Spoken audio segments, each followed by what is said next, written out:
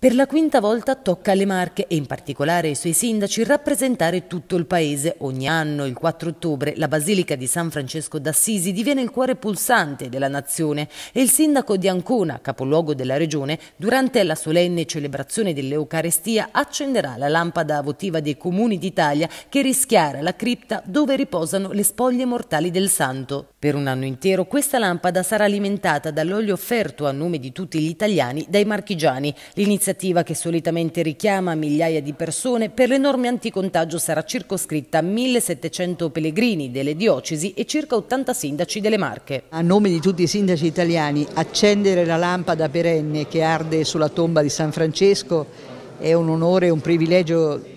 dicevo prima che la vita mi ha riservato e di cui ringrazio la vita e tutti quelli che hanno curato questa, questo grande evento che si ripete ogni anno ormai dal 1939. Eh, una grande emozione perché, mi passi il termine, essere a tu per tu con San Francesco e con la potenza sul piano non solo della fede, ma sul piano della umanità, che quella grande figura che, come dicevo prima, ha la forza di chi ha praticato il Vangelo e non solo lo ha predicato, è un'emozione fortissima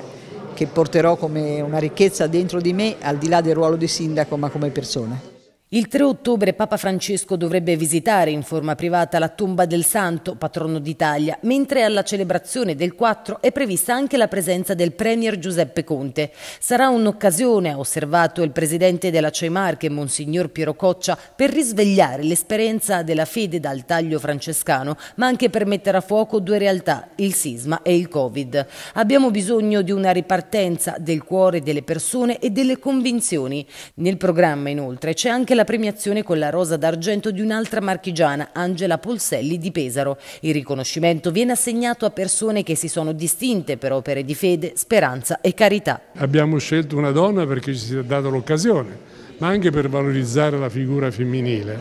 Questa è una signora giovane, vedova, colpita dal coronavirus con il decesso del marito, è una donna che a livello di volontariato ha lavorato e sta lavorando a livello internazionale è una donna di grande fede, una donna sensibilissima ai problemi sociali e anche educativi, ha quattro figli